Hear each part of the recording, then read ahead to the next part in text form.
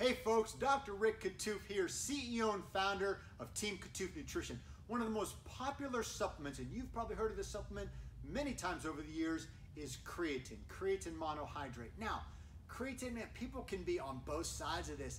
People can read a lot of information where creatine may not be good for them. It may cause bloating, it may cause muscle cramping, things of that nature. Folks, I'm here to tell you one of the best supplements on the planet is creatine, and that's why I came up with KAT One creatine monohydrate.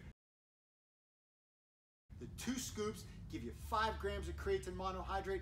Folks, this is my go-to. I use this before every workout. I mix it with my Ferocifire Extreme pre-workout. If you want to take it after your workout, you can mix it with one of your athlete's aminos products. Fantastic. Why is creatine so important, folks? Let's keep it simple.